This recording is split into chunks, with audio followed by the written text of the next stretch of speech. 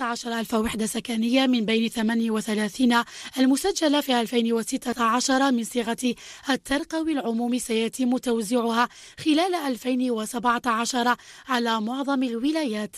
الحصة الأكبر ستكون من نصيب الجزائر العاصمة. في نهاية 2016 كان هناك 38 ما يفوق 38 وحدة سكنية اللي كانت في طور الإنجاز.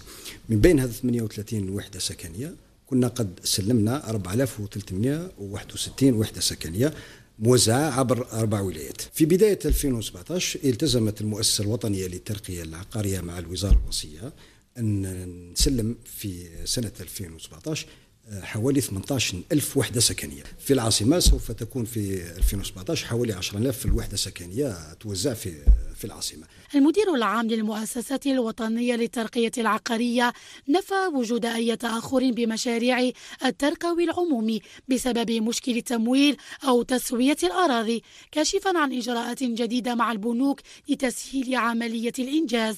إلى اليوم اللي رانا فيه ما كاين حتى مشكل تاع تمويل وما كاينش تأخر. أنا قلت لك التأخر اللي كاين في المشاريع هو تأخر نسبي. هناك أحوال الطقس اللي أثرت شوية. خذينا إجراءات ودرنا اجتماع مع البنوك المعينة ومع الموثقين وهناك التزام سوف يمضى في الأيام القريبة جدا بالثلاث الأطراف المعنيين والشيكات سوف يكونوا عند المؤسسة الوطنية للترقيع.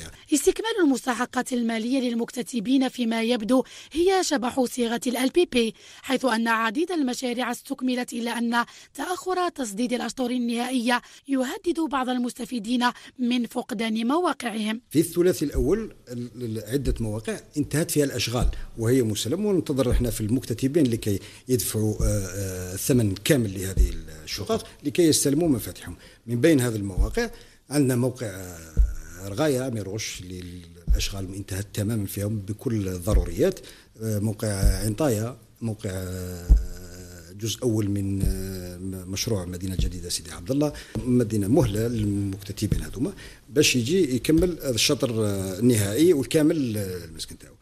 إذا ما كانش في في في المدة هذه شهر ما جاش كمل الدفعة الأخيرة يروح له الحق تاع لافيكتاسيون البطاقية الوطنية للسكن أسقطت أكثر من ثلاثة آلاف مكتتب وتنازل أزيد من أربعمائة آخر من صيغة الترقوي العمومي. وفيما يبدو أن هذه الصيغة على عكس الصيغ السكنية الأخرى فمعظم المشاريع فاقت فيها نسب الإنجاز السبعين بالمئة إلا أن تسديد المكتتبين لباقي المبلغ هو هاجس هذه الصيغة ما ينبئ عن انطلاق أزمة جديدة اسمها الترقوي العمومي.